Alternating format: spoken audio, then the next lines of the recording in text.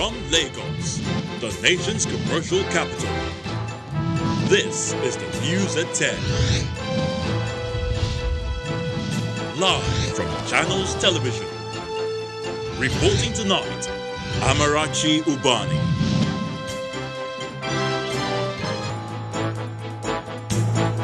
Tonight, still crying for help, parents of 20 abducted students of Greenfield University, Kaduna, appeal to the government to assist them in rescuing their children from captivity. Iniubong Umoren, the victim of a job scam is buried in her hometown in Akwa Ibom as police parade her suspected killer. More reactions trail the southern governor's resolution banning open grazing of cattle. Governor Ortom says decision will end farmer herder crisis.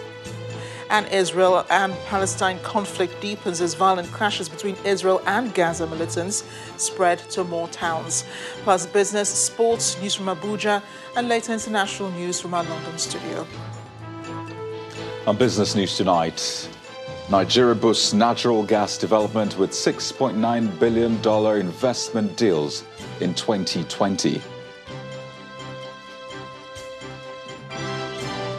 On sports news tonight, FIFA confirms Manchester City defender Aymeric Laporte has been approved to play for Spain instead of France at next month's Euro Championships. And from the nation's capital, electoral materials destroyed as fire guts another independent National Electoral Commission office, the third in less than two weeks.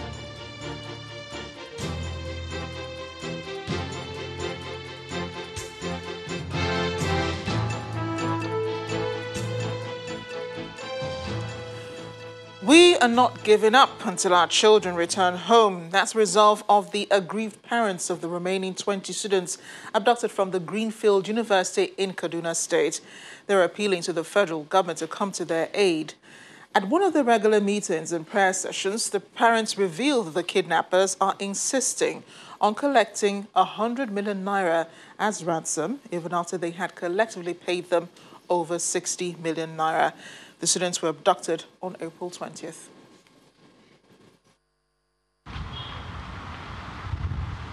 These are aggrieved parents of the 20 abducted students of Greenfield University in Kaduna State. The expressions on their faces clearly shows the trauma and nightmare they've endured since the abduction of their children on April 20th. A total of 20 students and three staff members of the private university were kidnapped. A few days later, the bandits killed five of the students with a threat to kill the rest if their parents and government fail to pay 800 million naira ransom.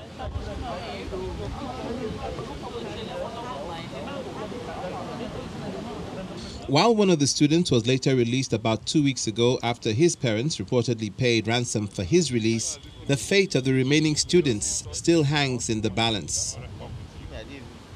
It's been 24 days of nightmare and emotional trauma for their parents who've been meeting on a daily basis to discuss ways of ensuring their safe return. Having spent over 60 million naira to pay ransom to the kidnappers for the release of their children without any success, these parents, both Christians and Muslims, have now resorted to prayers to seek for God's intervention. Chairman of the aggrieved parents, Marcus Zamai, wants the President, Muhammadu Buhari, to use his office to secure the release of the students. This is the 24th day they are in captives, harmless, with nobody to stand in for them. That is why we feel we should come to the media. We should come and call on the federal government, the state government, well-spirited individual, to call on all private and uh, organization, religious leaders to come to our rescue. You can just imagine the pain we are passing through. These children have not done anything wrong. They went there to study, but they were kidnapped. And all effort as parents, we've sold all that we own all that God has given us to be able to rescue them, but to no avail. Our money has been taken by these kidnappers, and they refuse to let our children go. And we are calling because this fight is beyond us. You can see this girl in front of me today making 24 days. She has not seen her mother. She has been crying that she wants to see her mother. She's helpless. We don't know what to do. Let the government come to help us. Please, we are begging. Each time they call, we beg and they keep on telling us that they don't have problem with us. They have problem with the government. That the government should talk to them. That they don't have any problem with us. We keep begging them. We keep begging every day if they call, we beg that they don't have problem with us. That they have problem with the federal government. So let the federal government go to talk to them so that they can release our child for us. It's not only the parents of the students that are feeling the pain. Little Esther Chukwuemeka is appealing to the bandits to release her mother.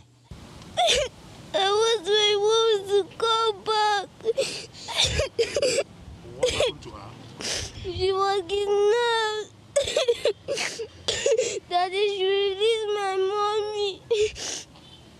It is important that every Nigerian should have confidence in their government. And government has a responsibility to protect its people. That is our call. That is our earnest desire that God or our federal government, under the able leadership of our president, should come to our aid to release our children, our wives from those who have taken them captive. Mass kidnappings of students in Nigeria for ransom payments have been on the increase in Kaduna State in recent times, with the state government insisting it'll neither negotiate nor pay any money to the kidnappers. But for these parents, what is paramount to them at the moment is to see the safe return of their children. Indeed. To other stories now, the resolutions reached by the governors of the southern states, now known as the Asaba Accord, is still generating reactions, this time from a governor from the north central state. Governor Samuel Ortom of Benue State believes that those opposed to the ban on open grazing have ulterior motives. According to him, the Northern Governors Forum recently banned open grazing, and no one came at them as they are now attacking governors from the south. Governor Ortom was speaking at the Makurdi Catholic Diocese Communication Week, where he said those opposed to the decision of the southern governors as a, a people have ulterior motives. I want to also use this opportunity to appreciate my colleagues and the people of the southern part of Nigeria. 17 governors coming together to adopt ranching as the global best practice and the best practice in the southern Nigeria. I commend them, I appreciate them. You have not done anything strange. It is what we started in 2016. And it is what also the Northern Governors Forum met some time ago and adopted that moving forward in this country, we must adopt ranching. If you have land in your state and you think you can accommodate open grazing, you're free to do that. So it is not anything strange.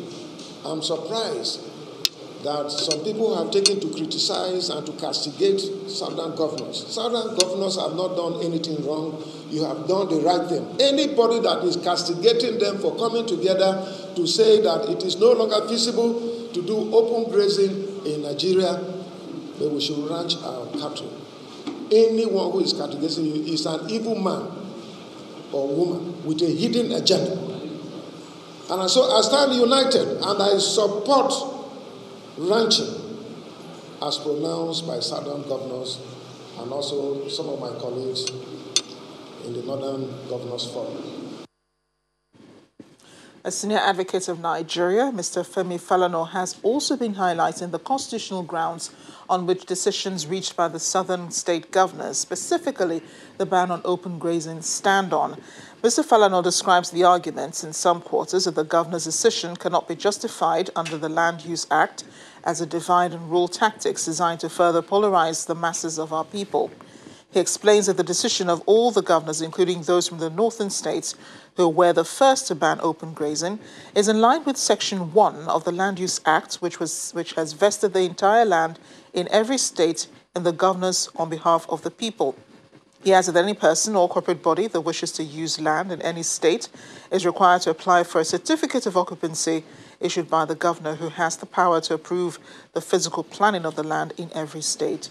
Concerning forest reserves, Mr. Falana's statements reads in part, The reserves owned by state governments are equally regulated by laws enacted by the Houses of Assembly, and under such laws, it is stipulated that it is a criminal offence to occupy any part of such reserve without authorization of the state government. He explains that as far back as 2016, the Buhari administration had adopted ranching in place of open grazing on farmlands without the authorization of the owners. According to him, due to the pressure from some selfish interest groups, the federal government abandoned the policy of ranching. According to him, every citizen is entitled to the fundamental right to freedom of movement and right to own and acquire land in any part of Nigeria by virtue of sections 41 and 43 of the Nigerian Constitution, respectively. To that extent, herders, like other citizens, are at liberty to acquire land for cattle business under the Land Use Act. He concluded by saying that those who are encouraging herders to reject modern animal husbandry are advised to learn from Botswana, South Africa, Mozambique, Kenya, and Ethiopia that have effectively adopted ranching to end clashes between herders and farmers. Meanwhile, the House of Representatives has said the Speaker, Femi Gbajabiamila, did not oppose the recent resolutions of the Southern Governors Forum after its meeting in Asaba, the Delta State capital. Chairman of the House Committee on Media and Public Affairs, Benjamin Kalu, explains that the House, under Gbajabiamila's leadership, had always been an, an, advocate of reviewing of the 1999 Constitution. He explains that the allegations are attributed to statements made by the Speaker at a recent interview seeking his opinion on the issue. The House states clearly and unequivocally that the publications are false and misleading. The statement explains that the Speaker only called for the need for everyone to come together to make sure that we resolve whatever issues there are and that the greatest nations have gone through challenges worse than what Nigeria is currently confronting. Afenifere leader Chief Ayo Adebanjo is asking President Muhammadu Buhari to initiate the process for the restructuring of the country to the path of true federalism ahead of the 2023 general elections. He said this uh, in his maiden address uh, as the new leader of the socio-political group after their meeting in Odogbolu local government area of Ogun State. Chief Adebanjo says only restructuring the country back to true federalism can guarantee unity and save the country from disintegration. It is cheering that call for the suffering is no longer limited to Afenifere, Pange, and Middle Belt Forum.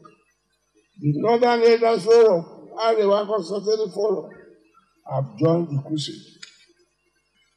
Very, welcome and endorse fully the resolution of the Southern Governors Forum. And we hope General Buhari, in the interest of Nigerian unity, peace, tranquility, and economic progress, gives serious attention to the recommendation. Finally, Buhari to bury the idea of holding elections before it's turning to federalism by restructuring the country now. There must be a country before election is held. It will be patriotic of him to heed this advice.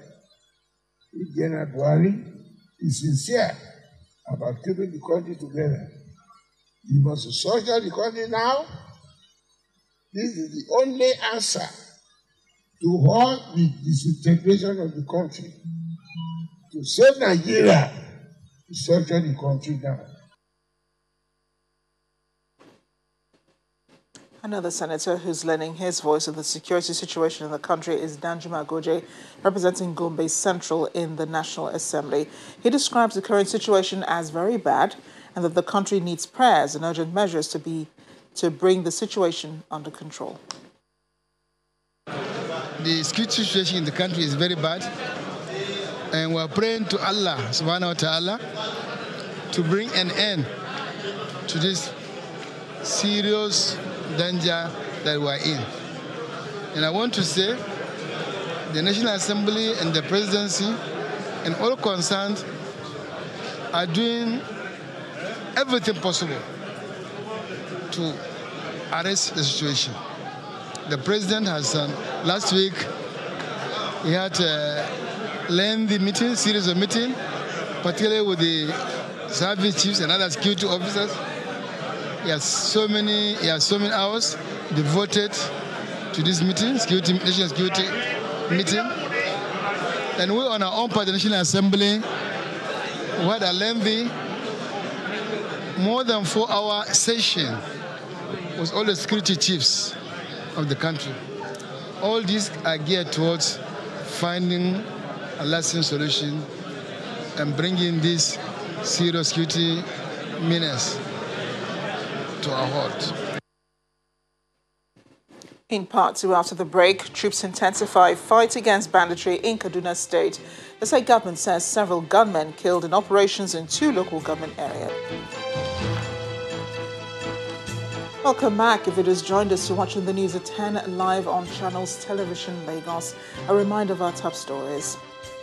Still crying for help, parents of 20 abducted students of Greenfield University, Kaduna, appeal to the government to assist them in rescuing their children from captivity. Iniubong Umoren, a victim of a job scam is buried in her hometown in Akwa Ibom as police parade her suspected killer. More reactions trail the southern governor's resolution banning open grazing of cattle. Governor Ortom says decision will end farmer herder crisis and Israel Palestine conflict deepens as violent clashes between Israel and Gaza militants spread to more towns.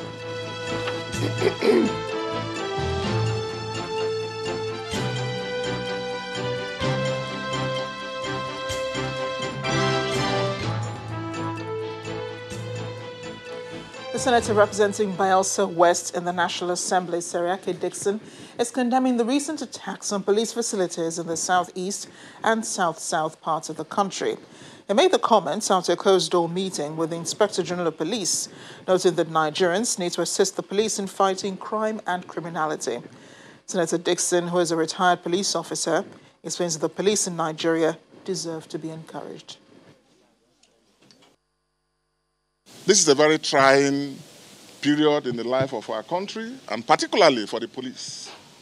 And I thought that uh, I should be here uh, as a policeman that I always will be myself, uh, to show support, to show concern, to join in condemning these acts of aggression visited on law abiding people just doing their best to protect citizens of our country. And I want to use that opportunity to call for, uh, to call for a cessation of all such attacks on police formations and police officers and men that is going on in some parts um, of our country. And to tell everybody that the police are not your problem. The police are not your enemies. Police officers and men are your brothers and sisters from across all parts of our country. The air components of Operation Thunder Strike say they have killed several bandits during an air raid in Birnin Gwari and Chikun local government areas of Kaduna State. The armed reconnaissance, according to the Kaduna State Commissioner for Internal Security and Home Affairs, Samuel Aruwan, was conducted over six communities in neighboring Niger State, as well as Chikun and its environs. He explains that the bandits who fled on motorcycles were trailed by and subsequently neutralized.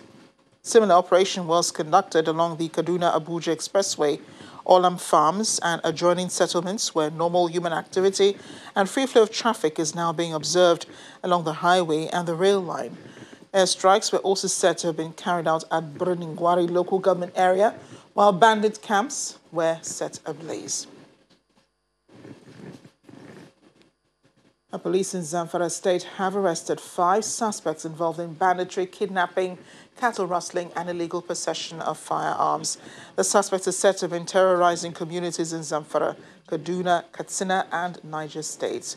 They were arrested, though come through the efforts of the Federal Intelligence Investigations Bureau and Special Tactical Squad deployed by the Inspector General of Police to the state. Among them is a Nigerian citizen, Shehu Ali Kachala, a notorious gun runner who says he has been in the business for over three years and has sold close to 4,500 rifles to criminal gangs. It is May 14th, 2021, a day that may sound like any other for you, but for Rebecca Sharibu, it's a day she remembers as her daughter Leah's birthday, but she cannot celebrate it. And that's because Leah is in Boko Haram captivity. She was kidnapped four years ago and is yet to be released. I spoke to her mother about how life has been without her daughter and hopes of her return.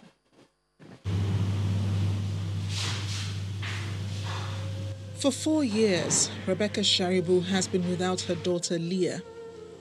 Leah was among the 110 schoolgirls kidnapped by terror group Boko Haram from the Government Girls Science and Technology College in Dapchi on February 19, 2018.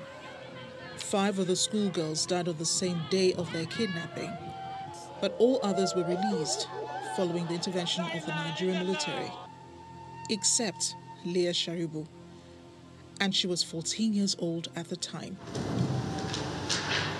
Though promises have been made by the Nigerian federal government that it is working towards her release, four years on, Leah remains in captivity, now reportedly married with two children.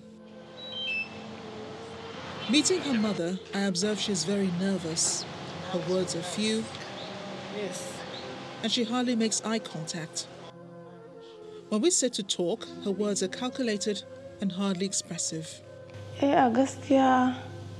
To be honest, we are very sad about Leah's absence because when she was here, she would do all the house chores. Indeed, her absence makes me sad. What are some of the things that Leah would have been doing now? You know, she was abducted when she was 14. She was still very young not yet a woman, and also not a little girl. 14 years old when she was abducted, I would have taught her a couple of things and she would have continued her studies as well, especially against the background of the fact that she always said she wanted to be a doctor. Let's go back to the day when Leah was abducted and you heard that, you know, she was taken along with some of uh, her classmates. How did you feel? When she was around, she would do practically everything in the house. But when we heard of her abduction, we were greatly troubled. I wept profusely and even fainted. I had to be rushed to the hospital. At some point, her eyes well with tears, but they do not fall. She keeps her emotions locked in. Leah turns 18 on May 14. In many societies, this is the age a girl becomes a woman. But Leah has already been thrown prematurely into adulthood. She was pregnant, yes, we heard, as it was being speculated in the media that Leah has a child, but I've not seen it with my own eyes. Anytime she's released and I see her, then I will believe and know her condition. And when you heard that other girls who were kidnapped alongside Leah were released, I'm sure your hopes were high that you would soon see your daughter.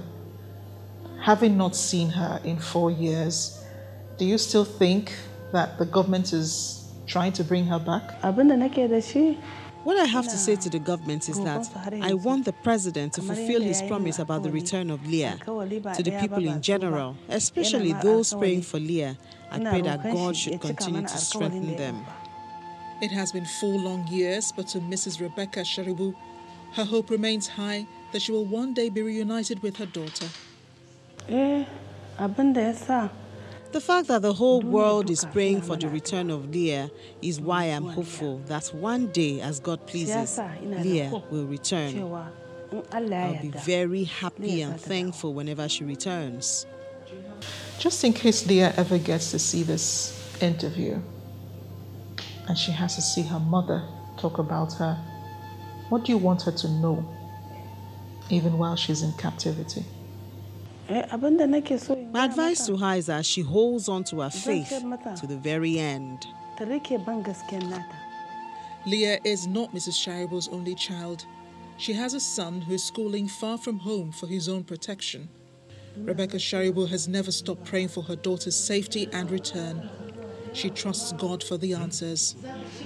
Hopefully, faith and hope will cause her to find her smile again and unlock the happiness that seems non existent in her heart. And the news at 10 returns electoral materials destroyed as fire guts another INEC office, uh, the third time in less than two weeks. Plus, Nigeria boosts natural gas development with $6.9 billion in investment deals in 2020. We'll have more in business news.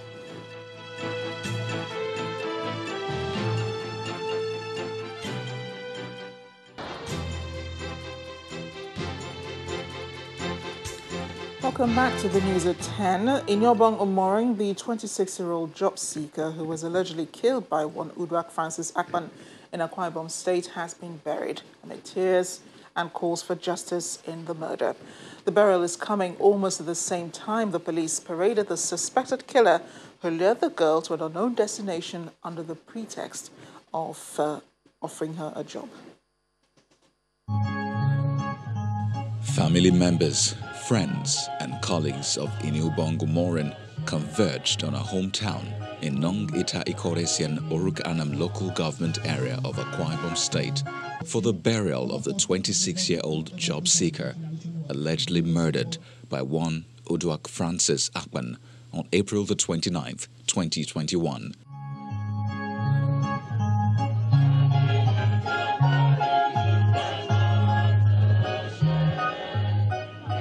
After a funeral service cut short by rain, her body is taken in a hearse to its final resting place, and it is at that point that reality dawned on sympathizers.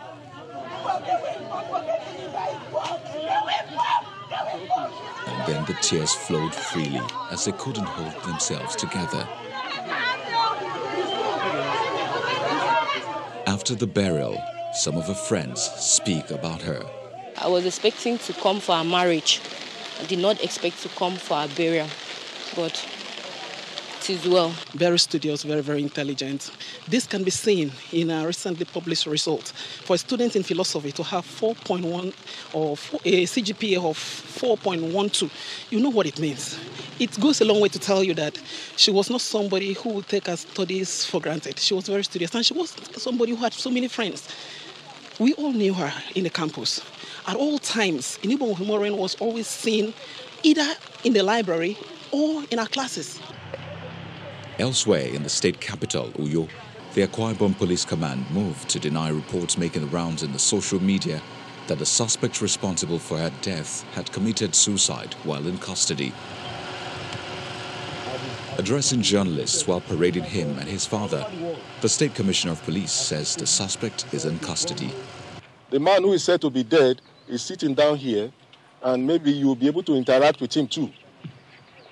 It's most unfortunate that the social media that is supposed to be an advantage to the police and to the, to the citizenry has become a tool that is being used to vilify even the police and the government. Meanwhile, the suspect and his father were also allowed to speak to journalists. I asked her whether she can work in a farm where hard drugs are kept as a secretary and she said that she can, that she's ready to do the job. So when she came, I revealed to her that this farm doesn't exist. You know, there's nothing, there's no farm like that. You know, it was just a hoax. I'm not happy about it, but uh, I believe that uh, the commissioner of police is working with his men and he has assured uh, Nigerians, he has assured Akwa Ibomites and the entire world that justice will take its course. With Iniubong now buried, the next step is for the police to do the needful by charging the suspects to court for the case to be settled once and for all. Really trying to wrap my head around that one. President Muhammadu Buhari has received the leader of Chad's Transitional Military Council, General Mahamat Idris Deby, at the presidential villa. Now, at the meeting, which held behind closed doors, President Buhari pledged that Nigeria will assist the Republic of Chad to stabilize and return to constitutional order. The Minister of Foreign Affairs, Geoffrey Onyeama, told State House correspondents that General Deby has pledged to return the country to civil rule in the next 18 months. He explained the, um, that they've appointed as prime minister the, um, the leader of the opposition who came second in the elections and that uh, he has been charged with now organizing, uh, first of all, having an inclusive, um, you know, governance process, uh, interim transitional governance process, with all the you know opposition leaders and, and, you know all the stakeholders, and uh, that over the next 18 months, uh, to then organize at the end of 18 months, uh, free, fair, democratic elections, and in the meantime, as the head of that transitional military council, will be um, Muhammad uh, um, Déby uh, Itno. Uh, he spoke about the importance of the international community and the United Nations taking their responsibility, disarming a lot of the mercenaries that had been used in. Um, to fight a proxy war uh, in Libya, and that a lot of those um, mercenaries are from sub Saharan Africa, the Sahel region, and um, that they also should not be allowed to go back to their countries uh, with armed with all those weapons, uh, very sophisticated weapons, and um, you know that they've had and vehicles uh, that they've had, and that they had 10 years of military experience, so that that would destabilize and continue to destabilize the sub-region if they are allowed to just return, sorry, with all the weapons and things that they have. We'll stay a bit more in Abuja because Terry is standing by with more on the news at 10. Hi, Terry. Hello, Amarachi. The Independent National Electoral Commission's office in Udenu local government area of Enugu State has been gutted by fire. Police Public Relations Officer of the Enugu Command, Daniel Ndukwe, says preliminary investigations suggest that the fire, which has been put out, may have been caused by a power surge. According to him, the level of damage cannot be immediately quantified, but the area has been cordoned off and a thorough investigation launched to ascertain the actual cause of the fire. This is the third incident involving INEC's local government offices in three states in less than two weeks. The others are in Essien Udim local government area of Akwa State and Ohafia local government area of Abia State. Well, there appears to be no end in sight to the leadership crisis rocking the Federal Civil Service retirees, as both the dissolved executive committee led by Mr. Sunday Omize and the caretaker committee of the same body set up by the National Union of Pensioners claim to be in charge of the association. The chairman of the caretaker committee, Mr. Frederick Egwaba, says members of the Federal Civil Service retirees had at no time decided to pull out of the NUP. But Mr. Omize insists that the Federal Civil Service retirees got their autonomy from the Ministry of Labor and Employment since 2018.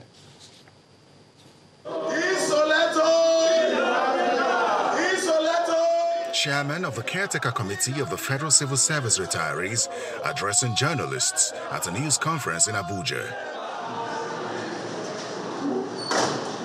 He wants to clear the air on a publication by a faction of the association led by the former chairman, Mr. Sunday Omize, who claims that the Federal Civil Service retirees are no longer part of the National Union of Pensioners.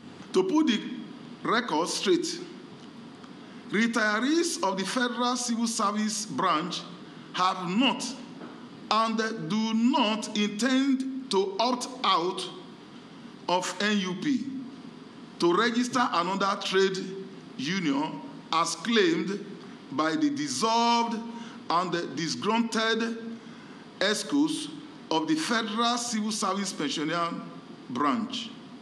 From the day of their dissolution, they have lost the right to continue to lord it over the Federal Civil Service pensioners.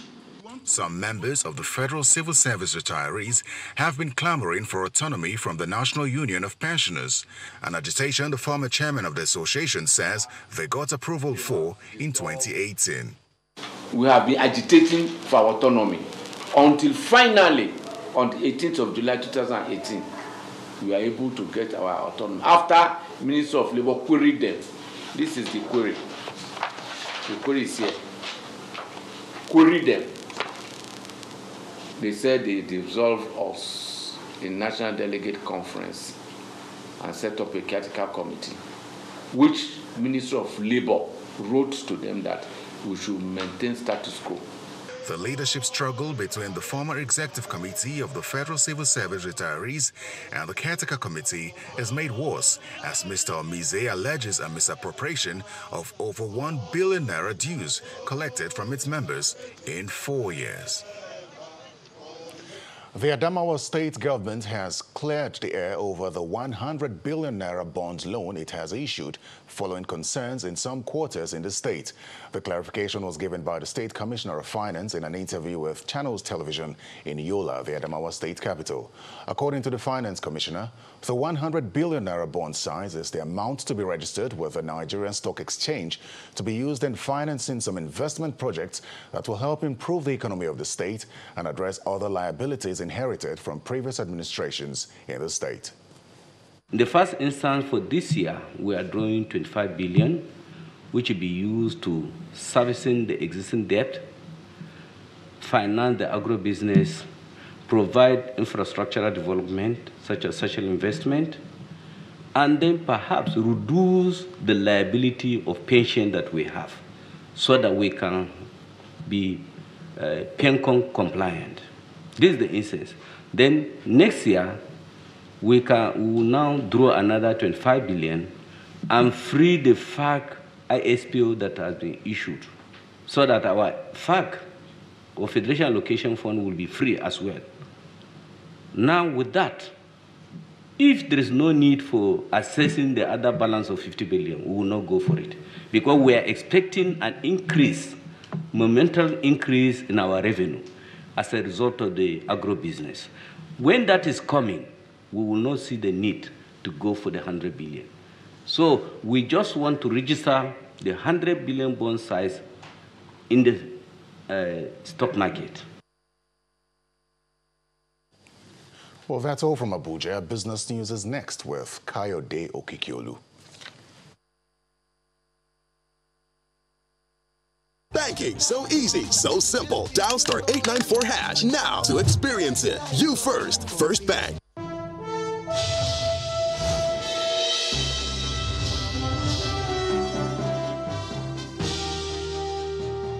Well, thank you, Terry. The World Bank says Nigeria has reported four natural gas projects worth a total of $6.9 billion in 2020, driving development through the country's gas master plan. According to its private participation in infrastructure report, the investment commitments have been on in the last five years, mainly from China as a foreign sponsor. The report adds that the $2.6 billion Ajaokuta Kaduna Kano pipeline launched last year is among the four big ticket natural gas infrastructure projects across the country. The production of smart card readers can now be done in Nigeria, thanks to a collaboration between the Bank of Industry and partners in the telecommunications and financial sector.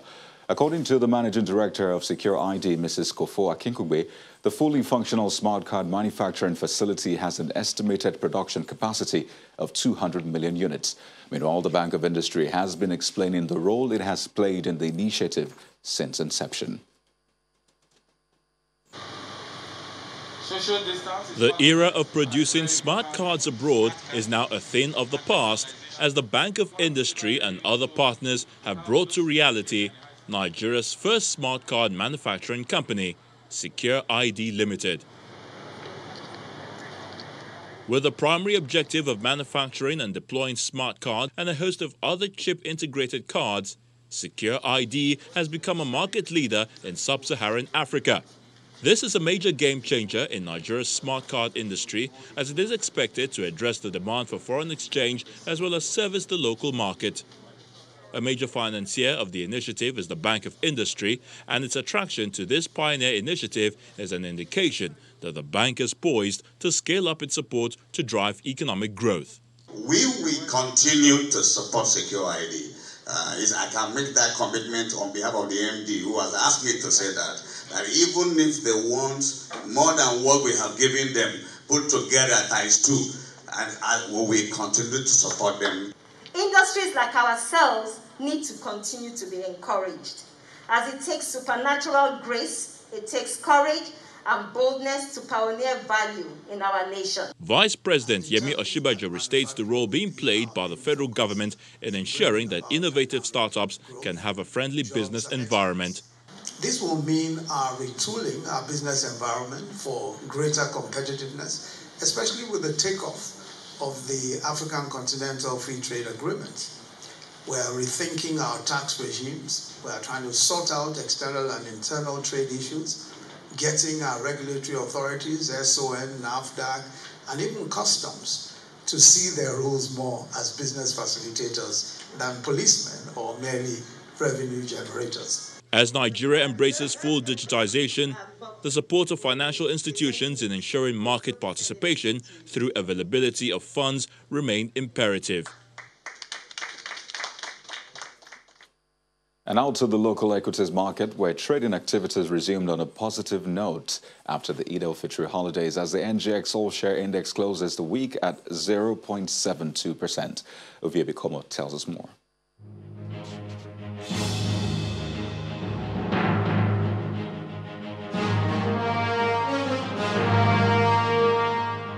In line with traders' expectations, the local equities market closed Friday's trading session in the green, sustaining its rebound for a third consecutive day within the second week of the month.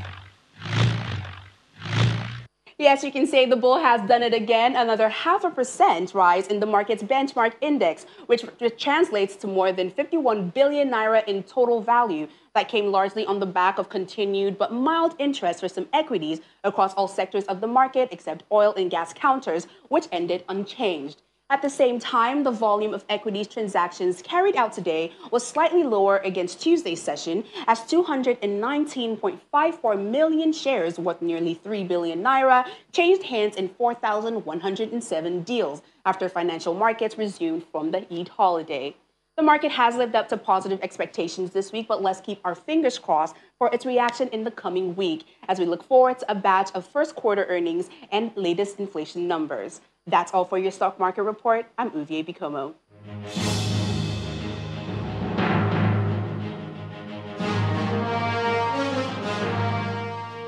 Thanks, Xavier. Outside Nigeria, stocks in the U.S. closed positive on the back of tech shares and reopening trades after recording steep losses this week. Let's take a look at Friday's closing numbers for other global markets.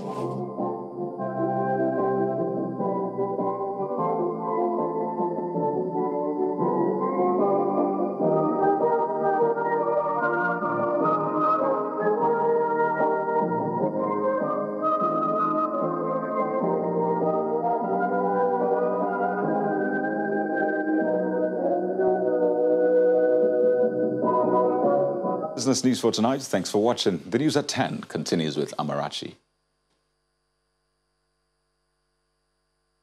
Banking so easy, so simple. Dial star 894 hash now to experience it. You first, First Bank. Thanks, Kayode. At least 122 people have been killed in Gaza and eight in Israel since fighting began between Israeli military and Palestinian militants. Some of the heaviest exchanges of fire between the two were experienced today, despite intense talks with international mediators continuing. The fighting has now spread to the West Bank, where 10 Palestinians have been reported dead. Simon Pusey has more in international news around the world in five. Good evening and welcome to the Channel Studios here in London with your international news around the world in five. Israel has intensified its assault on Gaza as Palestinian militants continue to fire rockets into Israel on the fifth day of hostilities. Israel's military said air and ground forces were involved in attacks on Friday but had not entered Gaza. Video from Gaza City showed the night sky lit up by explosions from Israeli artillery, gunboats, and airstrikes. Some 119 people have been killed in Gaza, and eight have died in Israel since fighting began on Monday. International medical aid has poured into India as countries continue to help the South Asian nation with its coronavirus infections crisis. An aircraft carrying ventilators, medicines, and other medical equipment from Germany, Netherlands, and Portugal landed in the Indian capital early on Friday morning. Other aircraft from Qatar and South Korea carrying shipments of oxygen concentrators, ventilators, rapid testing kits, and negative pressure carriers also arrived to help. The next phase of lockdown easing in England will go ahead from Monday, despite growing concern over the variant of the virus from India. Latest figures show there were 1,313 cases of the variant in the UK, up from the 520 recorded the previous week. From the 17th of May, pubs and restaurants will be allowed to reopen indoors, and people will be allowed to mix indoors as two households or under the rule of six. A major US fuel pipeline has reportedly paid cybercriminal gang DarkSide nearly $5 million in ransom payments following a cyber attack. Colonial Pipeline suffered a ransomware cyber attack over the weekend and took its service down for five days, causing supplies to tighten across the US. Several American media sources reported the ransom has been paid. Colonial said it would not comment on the issue. Black Brazilians have been demonstrating in the country's two largest cities to protest against racism and police violence towards their communities, in a local version of the Black Lives Matter movement in the United States, with some accusing the country's president of genocide. It's after the shooting dead of 28 people in a slum on the outskirts of Rio de Janeiro a week ago during an operation that police said targeted drug traffickers. Human rights activists accuse the police of extrajudicial killings. El Salvador is set to donate 34,000 doses of the AstraZeneca vaccine to neighboring Honduras following an appeal from Honduran mayors. A host of Latin American nations are receiving Chinese vaccines, but Honduras and Guatemala are not in line to receive them. Honduran President Juan Orlando Hernandez has said the country could open a trade office in China in a bid to acquire coronavirus vaccines. Five High Court judges in Kenya have blocked a government backed plan to make fundamental changes to the country's constitution. The judges said the Constitution Amendment Bill, popularly referred to as the Building Bridges Initiative, was irregular, illegal, and unconstitutional. Global geopolitics. The judgment is arguably the most significant ruling by Kenyan courts since President Uhuru Kenyatta's election win was nullified in 2017. Japan is set to declare states of emergency in three more prefectures on the same day that a petition to cancel the Games was submitted to organisers. Hokkaido, Okayama, and Hiroshima will join Tokyo, Osaka, and four other prefectures enforcing stricter lockdown measures, which will last until the end of May. The petition received more than 350,000 signatures in just nine days and says money spent on the Games should be spent helping people and families rebuild after the pandemic. And finally, theatres and performing arts centres across the UK are preparing to open again on Monday, with this production of Amélie set to begin again from the 17th. It has been over a year since the production was on stage in London, and as England takes the next step out of lockdown, the musical based on the hit 2001 French film will be one of the first to open in the capital's West End.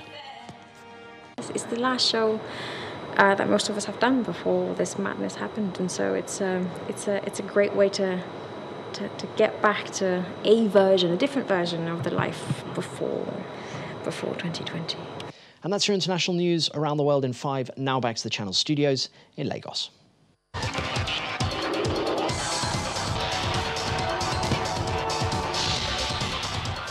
Many thanks, Simon. Super Eagles head coach Gernot Rohr has unveiled a provisional squad list of 31 players for Nigeria's international friendly against AFCON host, the indomitable Lions of Cameroon. The friendly will hold on June the 4th in Vienna. Farense of Portugal forward Abraham Marcus is the newest face in the squad, while four players from the Nigeria Professional Football League were also called up. The provisional list of 31 will be reduced to 23 before the three-time African champions League for Vienna for the game. FIFA has confirmed that Manchester City FC defender Aymeric Laporte has been approved to play for Spain instead of France at the Euro Championships. The news comes after the 26-year-old defender, who spent eight years at Athletic Bilbao, was granted Spanish nationality earlier this week. Born in France, he was called up three times for the World Champions, but never actually made it onto the pitch. The Portuguese government has announced that English fans attending the Champions League final in Porto between Man City and Chelsea will have to fly in and out of the country on the day of the match. The government says they will also need to stay in a bubble while in the city. UEFA has already stated that 6,000 fans from each club will be able to attend the final come May the 29th. Argentine Hector Cúper has been appointed as the new coach of DR Congo men's football team.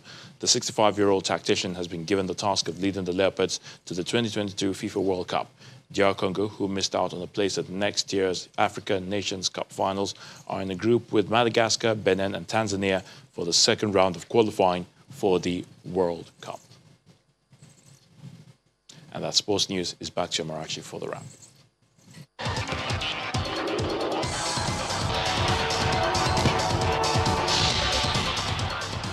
Thanks, Ayotunde. And the main news again. Parents of 20 abducted students of Greenfield University, Kaduna, again cried for help today and appealed to the government to assist them in rescuing their children from captivity.